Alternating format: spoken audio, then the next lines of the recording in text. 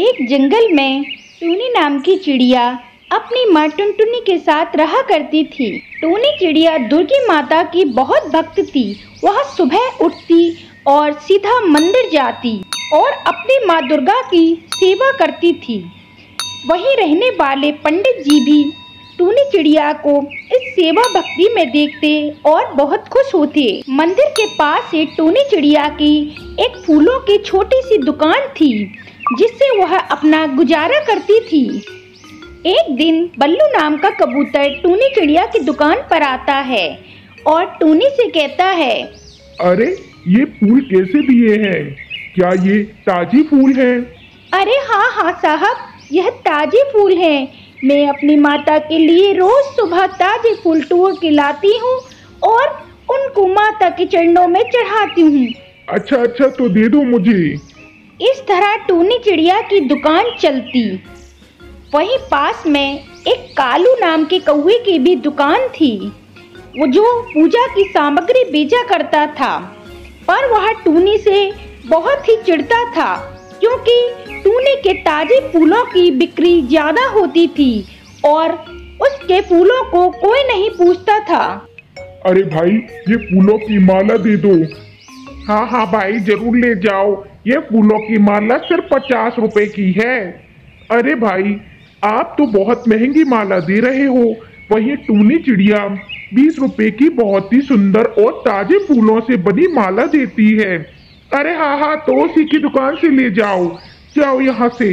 और इस तरह उस घमंडी कौए की कोई भी बिक्री नहीं होती थी। एक दिन कालू कौआ सोचता है अरे इस टूनी के कारण मेरे फूलों को कोई नहीं खरीदता।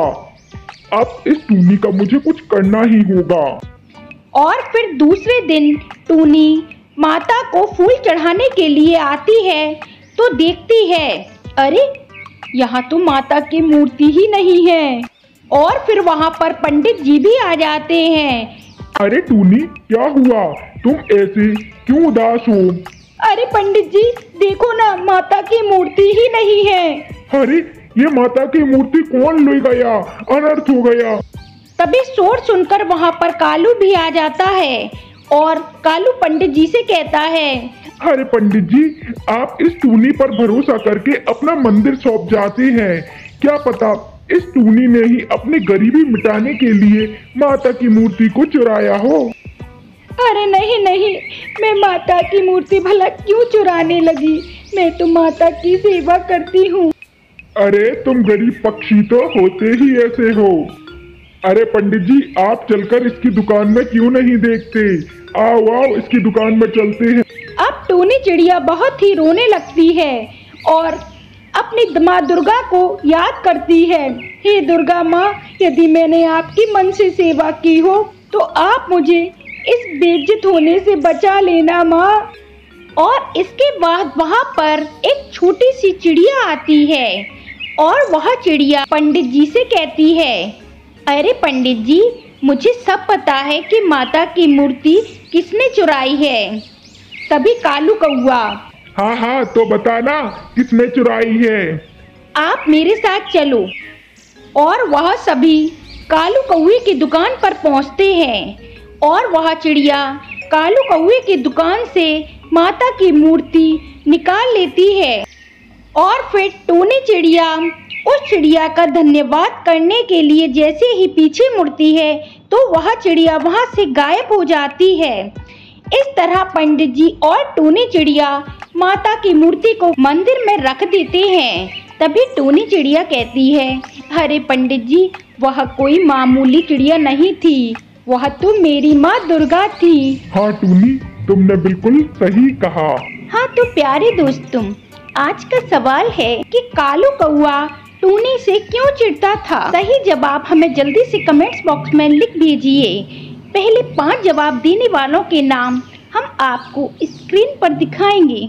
एक जंगल में कालू नाम का कौआ और उसकी पत्नी टूनी रहा करते थे। कालू कौआ एक किसान था जो खेती कर कर अपना गुजारा करता था।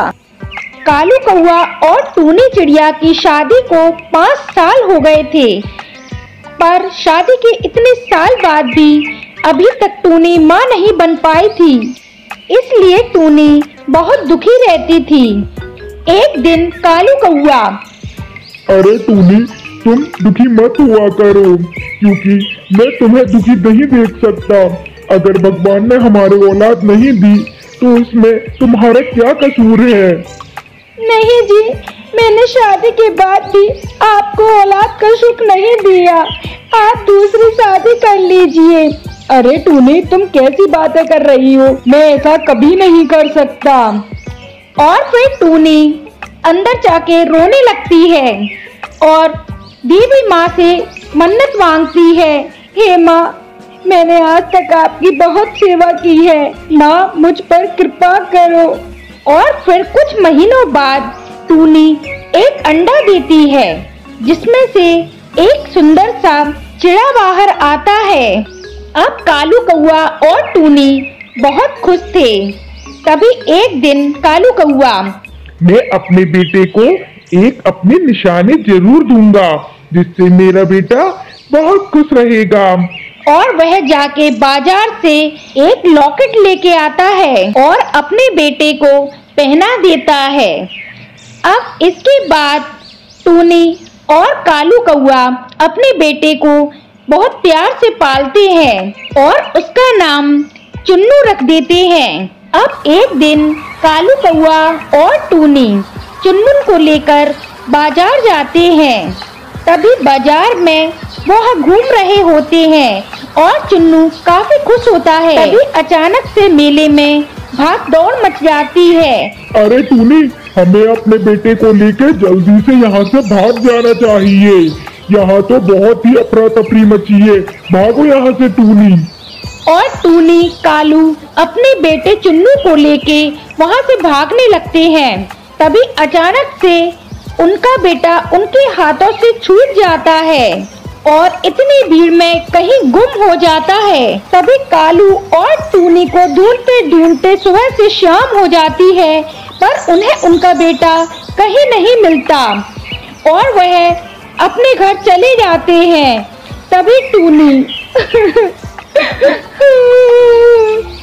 अरे, मेरे इतने दिनों बाद तो एक बेटा हुआ था, और वो भी हमें छोड़ के कहीं गुम हो गया।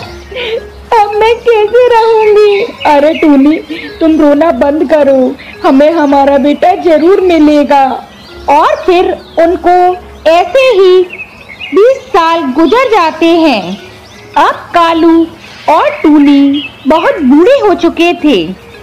अब कालू ने खेती का काम बंद कर दिया था, क्योंकि वह बहुत बूढ़ा हो चुका था और वह अपने बेटे की याद में बीमार हो गया था। इसलिए टूनी लोगों के घरों में काम करके अपना गुजारा करती थी। तभी एक दिन टूनी एक घर में काम कर रही थी। तभी उस पर एक बर्तन टूट जाता है। तभी टूनी की मालकिन टूनी पर चिल्लाने लगती है, हे बुढ़िया तेर पे अब कुछ काम नहीं होता। तू निकल जा मेरे घर से। और उसको ऐसे निकाल देती है। तभी टूनी अपने घर पर आ जाती है और कालू से कहती है अब हमारा घर कैसे चलेगा? आज मेरी मालकिन ने मुझे घर से निकाल दिया है। तभी वहाँ पर बल्लू नाम का एक कबूतर आता है और टूनी से कहता है अरे आप चिंता मत कीजिए मैं आपको दूसरी जगह काम दिलवा दूँगा। ऐसा कह के वह टूनी चिड़िया को अपने साथ अपने दोस्त के घर ले जाता है। उसके दोस्त का नाम चुनमुन चिड़ा था, जो बहुत अमीर था। अब टूनी चिड़िया उसी के घर में काम करने लगती है। तभी चुनमुन की पत्नी टुनटुनी वहाँ पर आ जाती है। अरे चुनमुन जी, आपने भी किनको काम दे दिया है? अब ये बुढ़िया इस उम्र में कैसे काम करेगी? देखती हूँ मैं। और तभी एक दिन चुनमुन चिड़ा कहीं जाने के लिए तैयार हो रहा होता है। तभी टूनी चिड़िया उसके कमरे में चाय देने के लिए आती है। ये लो मालिक चाय, आप लोग चाय पी लो और उसके बाद कहीं जाना। तभी अचानक से टूनी चिड़िया का ध्यान चुनमुन चढ़ा के गले पर जाता है और वह उससे पूछने लगती है, अरे बेटा, ये लॉकेट तुमको किसने दिया? तभी टुनटुनी चिड़िया कहती है अरे ए बुढ़िया क्या तुझे इनकी लॉकेट पर नज़र है? कहीं चुरा ना ले। अरे नहीं नहीं मालकिन मैं ऐसा नहीं करूँगी। तभी चुनमुन चिड़ा कहता है अरे टुनटुनी रुको ये मेरा लॉकेट है और बचपन में मेरे माता पिता ने मुझे दिया था पर बचपन में ही मेरे माता पिता मुझसे बिछड़ गए। और टूनी चिड़िया के ऐसा सुनने पर टूनी चिड़िया की आँखों में आँसू आ जाते हैं और वह रोने लगती है। तभी टूनी चिड़िया भाग के कालू कौए के पास जाती है और कालू कौए से कहती है सुनो जी हमें हमारा बेटा मिल गया। अरे कहाँ है हमारा बेटा? तभी टूनी चिड़िया कालू को लेकर चुनमुन चिड़ा के घर जाती है और उसको पूरी बात बता देती है। तभी चुनमुन चिड़ा और टुनटुनी चिड़िया उन दोनों से माफ़ी मांगते हैं और फिर उन्हें अपने साथ रख लेते हैं। और फिर वह सब खुशी खुशी रहने लगते हैं